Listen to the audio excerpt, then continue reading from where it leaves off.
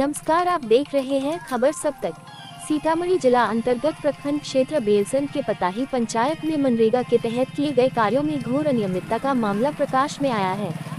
पंचायत में मनरेगा के तहत कराए गए मिट्टी कार्य, पीसीसी कार्य में अनियमितता को लेकर स्थानीय लोगों के द्वारा जिलाधिकारी को आवेदन देकर जाँच की मांग की गई जिसमें जिलाधिकारी ने त्वरित जाँच के लिए आदेश दे दिए।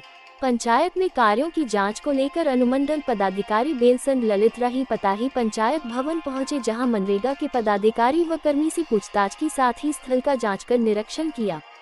जाँच के दौरान मौजूद ग्रामीणों ने मनरेगा के पदाधिकारी व पंचायत के मुखिया पर गंभीर आरोप लगाया है। स्थानीय ग्रामीण रवि सिंह ने बताया कि मुखिया के द्वारा किए गए मनरेगा कार्यों में अनियमितता चरम पर है। मनरेगा के तहत किए गए कार्यों का सरकारी भुगतान भी हो चुका है। जिसमें मुखिया मनरेगा के पदाधिकारी व कर्मी की मिलभगत से सामान्य श्रेणी के मजदूरों को एस सी बनाकर फर्जी तरीके से सरकारी खजाने को खाली कर दिया है।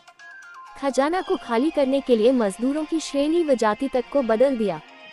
सरकार के द्वारा जातीय जनगणना कराया गया जिसमें करोड़ों रुपया पानी की तरह बहाया गया ताकि सभी जातियों की संख्या का सही आंकड़ा लग सके। वहीं मुखिया जी और मनरेगा के पदाधिकारी मनरेगा मजदूरों का जात बदल कर अवैध रूप से उगाही करने में लगे हैं। अब जरा मनरेगा के उन मजदूरों की सूची को देखें, कहीं आपके भी समझ में आ जाए। वैसे स्थानीय लोगों का दावा है कि इस सूची में कोई भी मजदूर एस सी के नहीं है। हालाँकि यह पूरा मामला जाँच का विषय है। वही पदाधिकारी इस मामले को लेकर छानबीन कर रहे हैं।